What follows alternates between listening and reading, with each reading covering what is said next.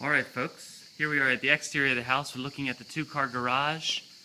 Uh, the woman lives here alone. She has left her car there. We just part pulled in right behind her. Uh, you might remember if you've watched the interior part of this video, me referring to this place as a good storage for firewood. Wonderful fireplace in this house. I just want to highlight some of these outdoor spaces. Excuse me there. You can see it goes all the way down. You can walk right around the house into the pool. We are going to carry on this way. You can see the, the electric doors leading into the driveway and garage. The garage as well has a, an automatic control, uh, highlighting some of the work here on the outside of the house.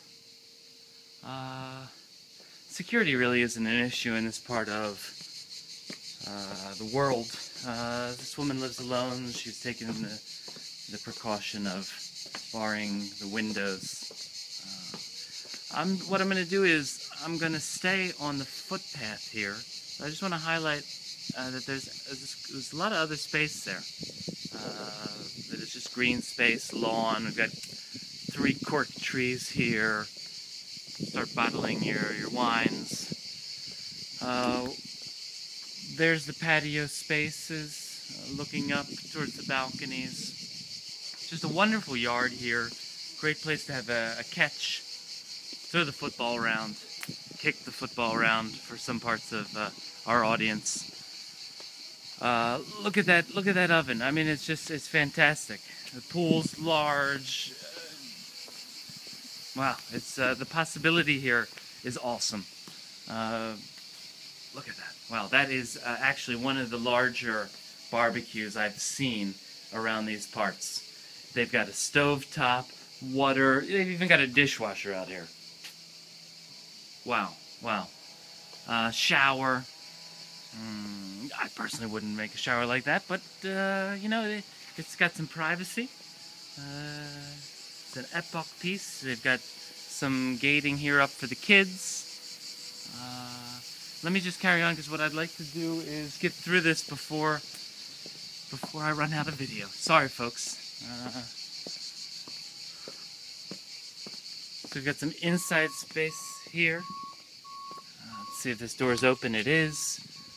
You know, there's, there's space enough here for, for a toilet.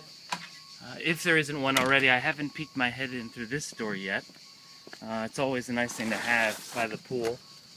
Oh, of course, there is. There's actually a changing room, as you can see.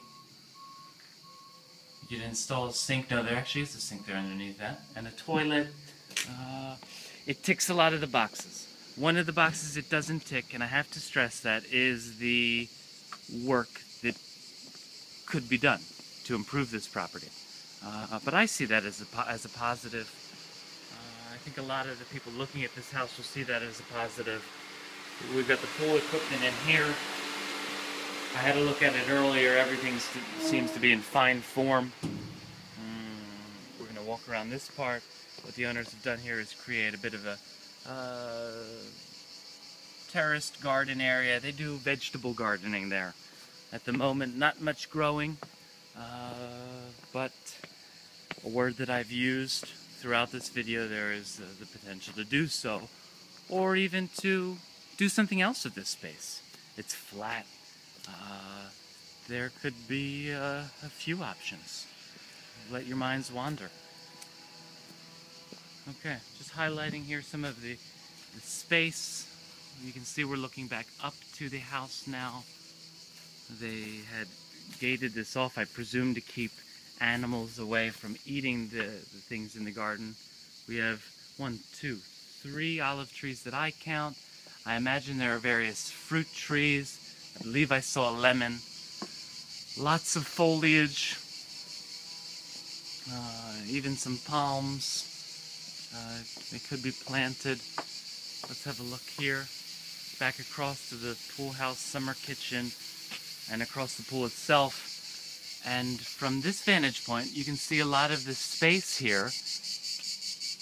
Just beautiful garden areas. This belongs to the house at the end of the cul-de-sac. Okay. You can hear the cicadas. The birds are calling. The gardeners are busy landscaping. It's a very quiet area of Cannes. It's a very green area of Cannes. There's the house again. Well, thank you so much for watching. I really appreciate your time. And I look forward to hearing back from you regarding what you think about this house.